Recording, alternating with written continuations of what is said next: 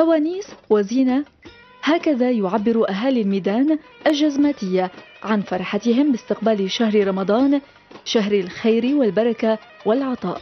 حلويات رمضان كخبز المعروك والناعم البقلاوة المحشية بالفستق الحلبي والنمورة بالقشطة تراها تتصدر واجهات المحال التجارية.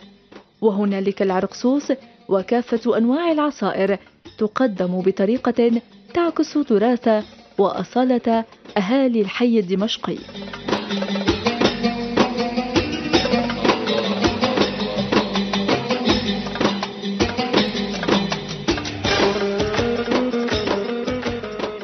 نحن هون بحي الميدان الدمشقي عايشين أجواء الرمضانية اللي ربونا عليها آبائنا وأجدادنا.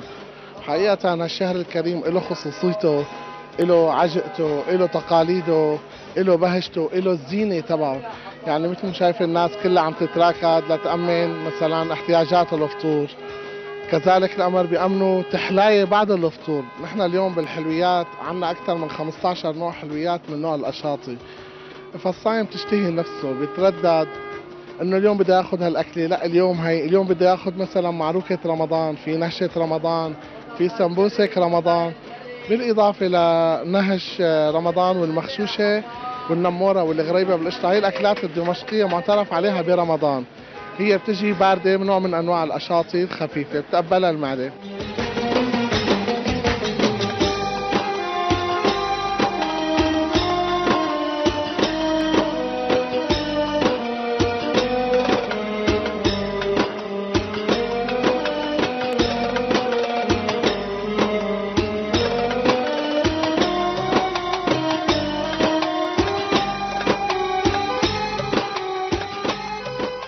أجواء رمضان هاي نحن عندنا حي الميدان سوق الميدان حصرا معروف بأجواءه.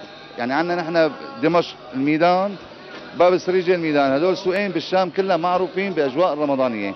ومنعايد كل شيء يعني منعايد الكل بدون استثناء رمضان كريم للجميع. دمشق تعج بالحياة في شهر رمضان كما تعودنا على طقوسها في استقبال شهر الخير.